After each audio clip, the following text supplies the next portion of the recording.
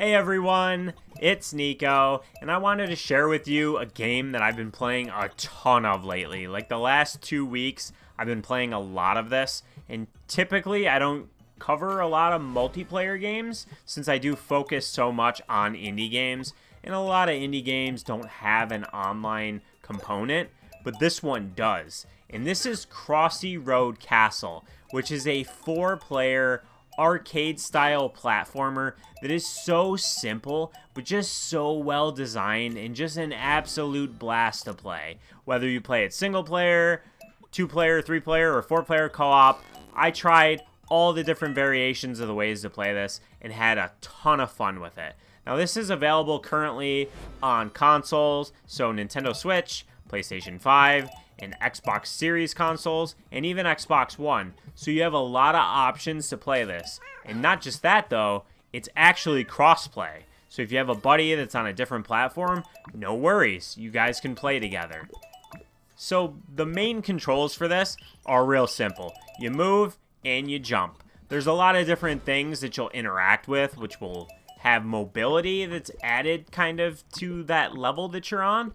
But for the most part, that's all you're going to do. You're going to have a run and a jump. That's all you worry about. You can Goomba stomp some enemies and others you can't. You'll collect coins. There's also purple tokens. And the gold coins and the purple tokens are tied to the unlocks. There's a plethora of cosmetics you can earn in this. There's tons of different animals and skins you can earn. And then there's also different headwear and hats that you can acquire and there's a lot, a lot of levels in this game because there's a ton of different towers. Each environment plays differently than all of the others. They all have unique boss fights, and typically you're going to fight a boss every 30 floors or so.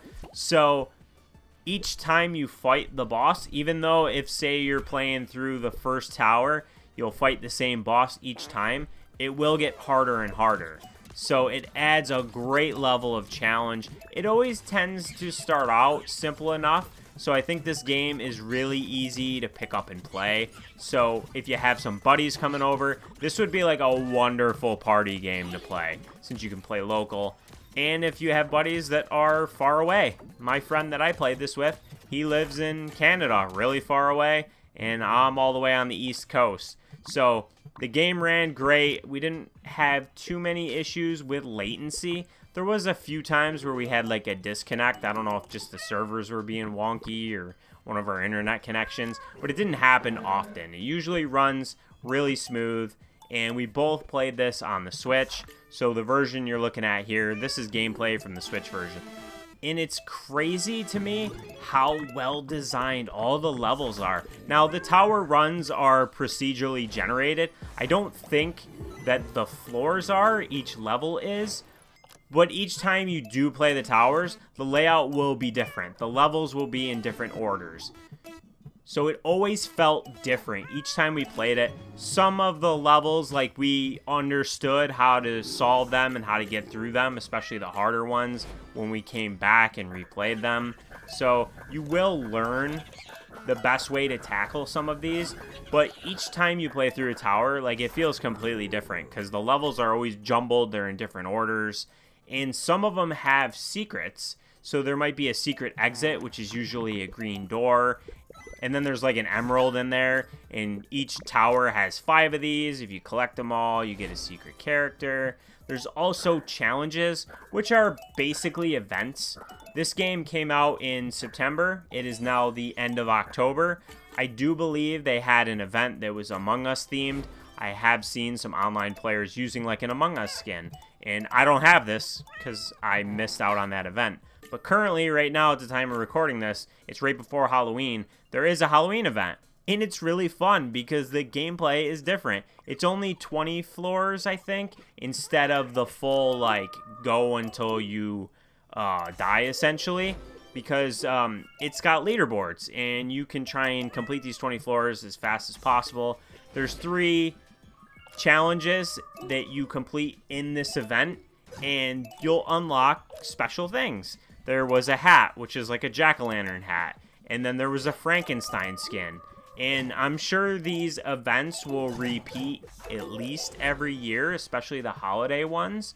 But it's a really cool way and a really great incentive to play this even more and come back to it if maybe you played the crap out of it and you got a little sick of it and then you come back and there's a cool event and you get some exclusive rewards for your time. So I really like that about it. My only complaint with the game, truly, is that there's a lot of screen shake in this. Like, a ton of screen shake. And you can't turn it off. And I'm not really sure why they don't have the option to turn it off. They do have an option to turn it down, which is how I played and how you are seeing the screen shake in all of the footage because I turned it down immediately. That's an option I always check for. I had no idea that this had screen shake in it, but I turned it down regardless because I always do. I usually turn it off, but you can't do that here. I hope they do add in the option because there are times where it kind of is almost like disorienting me a little bit. I'm a bit of an older gamer, so if it sounds like I'm being a wuss, like I promise you I'm not. When you get older, you'll understand. But screen shake kind of really rattles me a bit when it's excessive and it's pretty excessive here. So sometimes I have to kind of like pause for a minute and like get my bearings and then continue on. But there are levels where I can't do this because maybe something's crumbling or I'm timed. There's a hazard chasing me, like a spike wall or something. So it's a bit of a bummer that you can't turn off the screen shake.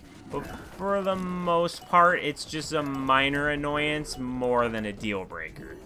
The boss fights and stuff in this are so different from one another. And it's weird that a game so simple has like so much charm to it. There were so many times where my friend and I were playing and like something funny happened. Maybe we died in a goofy way or we, you know, clutched up a room that was pretty difficult. There's just a lot of charm to this game that looking at it, you might think, oh, it kind of just looks like a voxel art style and it's kind of Minecraft-ish. I don't see what the appeal is. Like, you just move and jump. How fun can it be? And you might think that, but I promise until you play it, you won't necessarily understand just how fun it is. Like, I've been addicted to this game. I have been trying to play as much as I can with my friend and then earn everything that there is. I want all the hats. I want all the skins. There's also stickers for each tower, which are essentially achievements. And maybe on PlayStation and Xbox, maybe those actually are the achievements. But on Switch, like they're there and it's just like something for you to do. It's all tracked really well in the menus. Seeking out the secrets is really enjoyable. And man, this is just such a fun game. And I was pretty excited to make this video on it. I understand that Crossy Road is not like this hidden gem or anything like that because the original game was very popular on mobile and that's probably why the roots of this are so simplistic. But I'm not a big mobile gamer, so until a mobile game like comes to a console, that's probably going to be the only way that I'm going to play it. Another thing I want to mention too is just because this game has online and has events, you can absolutely play this offline. So say you pick this up on the Switch and you're traveling and you don't have an internet connection and you're like, oh, well, can I play this single player offline? Yeah, you absolutely can. The only thing you can't do without an internet connection is obviously you can't play online. But you also can't partake in the challenge events since there are leaderboards and things tied to those and they're timed but anything else you can play 100% offline. Local multiplayer, single player, you can play all of it. So this was the console version of Crossy Road Castle. And if you have any questions on this game, I've played quite a bit of it. Feel free to ask in the comments. I don't really know what else to say about it other than I enjoy this game a lot. I understand the price is a little steep at $20, but you know, if that's a little too high for you, just kind of put this one on your wish list and keep it in mind, because I think this game's an absolute blast and would make for a great party game. So, I hope you enjoyed this video. Make sure to subscribe if you haven't already, and I'll see you on the next one.